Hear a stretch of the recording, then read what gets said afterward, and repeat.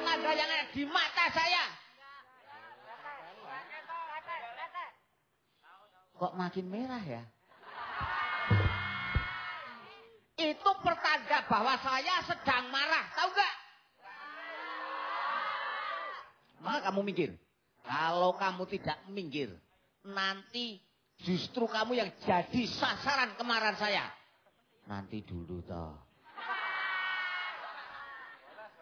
Lek Karyo marah-marah, teriak-teriak kayak begitu sebenarnya mau ke mana? Mau ketemu Pak RT. Kalau sudah ketemu, Pak RT mau saya hajar. Tak kamplengi. Loh, urusannya apa? Urusannya apa? Urusannya apa? Orang lain kebagian kompor gas kok saya tidak?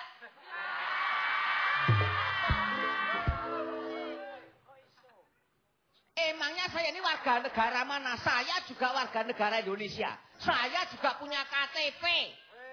Yang lain dapat bagian kompor gas kok saya tidak? Berarti RT ini sudah mendiskreditkan saya. Nah iya, mendiskriminasi, mendiskreditkan Karyo seolah-olah Karyo ini anak tiri dari bangsa ini, anak tiri dari warga ini. Maka dari itu, saya tidak puas kalau saya belum menghajar RT di sini.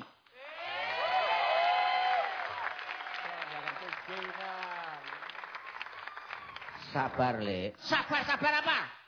Justru Lek Karyo tidak mendapat kompor gas, itu Lek Karyo sudah diselamatkan oleh Pak RT. Kok bisa? Loh ya, sebab kompor gas itu berbahaya. Ya kalau kamu bisa pakainya. Kalau nggak bisa memakainya, kamu nggak jadi menggoreng tempe, tetapi menggoreng mukamu sendiri.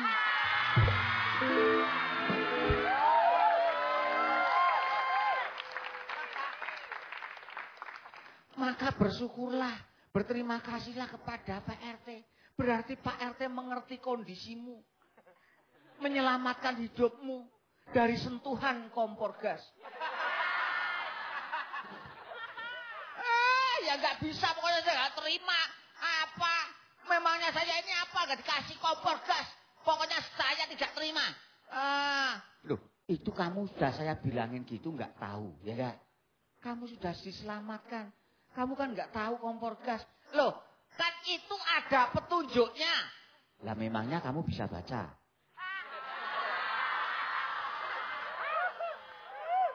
Baca aja nggak bisa kok ngomongin petunjuk-petunjuk dari mana? Hah? Loh, saya nggak bisa baca. Tapi anak saya kan sekolah. Dia bisa baca. Ya kalau anakmu di rumah. Kalau anakmu piknik dua minggu. Kamu berarti di rumah nungguin kompor terus dua minggu.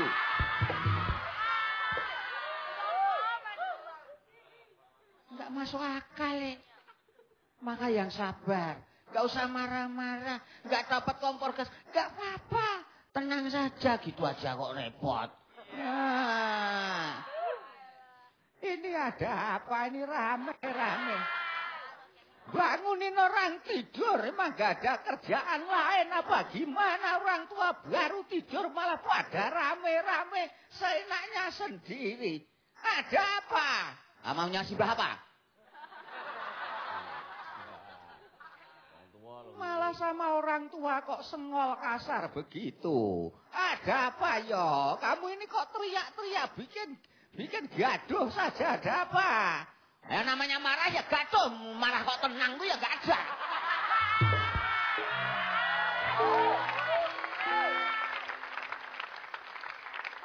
Gak ada marah kok silent. Apa model marah getar? Itu malah bagus lek marah dengan sistem getar. Nanti kalau ditanya, "Loh kenapa? Kok lek Karyo marah?" Ndret ndret. Oh. Memangnya lek Karyo marah sama siapa? Ndret ndret. Oh. Udah, kamu diam dulu. Aku bener-bener marah ini. Ya syukurlah kalau bener-bener berarti serius. Saya takutnya Lek Karyo marah nggak serius. Kamu tuh ada-ada saja loh. Eh, kenapa ya? Ada apa? Saya tidak kebagian kompor gas. Padahal seluruh warga RT sini dapat. Kok saya tidak dapat sendiri?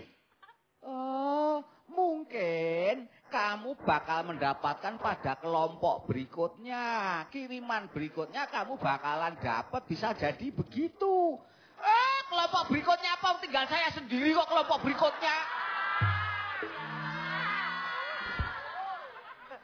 Kalau masih ada lainnya, ada, ada lima orang apa sepuluh orang belum dapat, itu wah ini masih pasti ada kloter berikutnya. Lalu tinggal saya sendiri kok kelompok berikutnya. Ya, itu mungkin bukan kesalahan Pak RT. Jadi kamu jangan marah sama Pak RT. Masalahnya siapa? Pak RT itu cuma menjalankan perintah atasannya. Atasannya Pak RT siapa? Pak RW. Kalau begitu Pak RW, sekalian saya hajar sekalian. Loh, kok Pak RW juga diajar? Loh iya, berarti dia konspirasi ikut mencoret nama Karyo. Loh, Pak RW itu paling juga menjalankan keputusan atasannya. Atasannya Pak RW siapa? Pak Lurah. Kalau begitu Pak Lurah tak kamplengi sisan.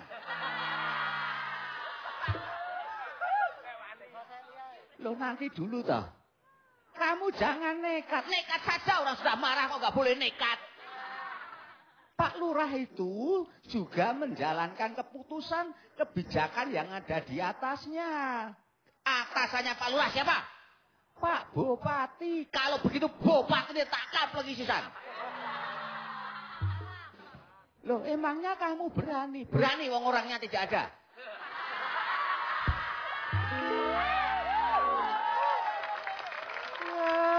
ngancam ke orangnya tidak ada. Maka dari itu jangan seperti itu yang sareh ya. Tenang, jangan suka marah-marah kayak begitu. Ada apa ini? Walah Pak Lurah, Lurah, ada ancaman kok malah dateng. Ini gimana coba? Ini nanti, wah ini nanti ada Rojopati. Rojopati itu apa? Raja itu raja, pati itu pembunuhan. Raja pembunuhan. Ngawur.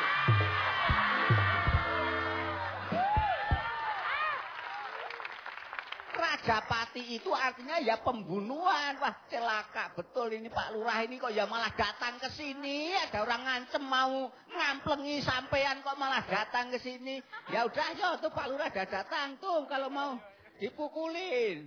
Gas itu. Pak Lurah katanya kamu tadi ngancam Pak Lurah. Bah.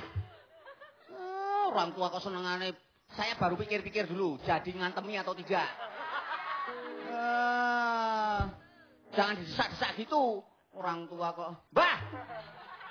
Dibilangin jangan bercanda kok kayaknya loh. Saya nggak suka gitu itu. Uh, bah. Kamu tuh jangan main-main toh. Lala semak.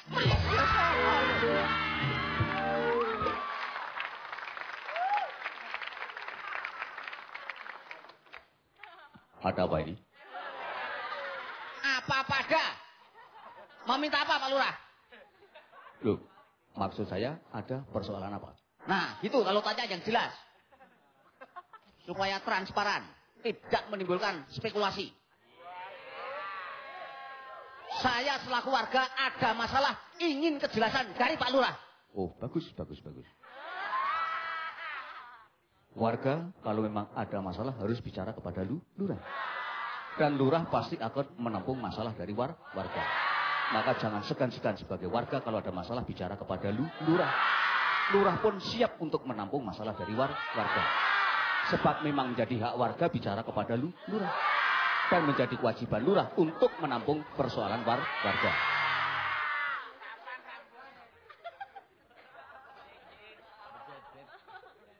Bah, ada apa? Bawa pisau.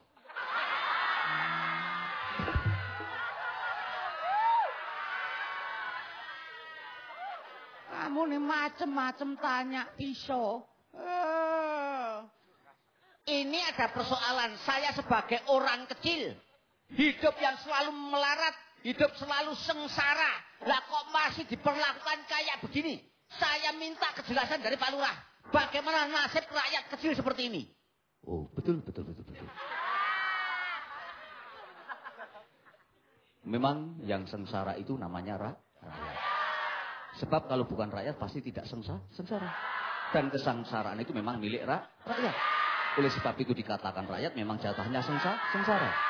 Maka dari itu jangan bingung kalau sengsara sebab Anda adalah ra rakyat. Jadi terimalah sebagai rakyat memang itu haknya sengsa sengsara.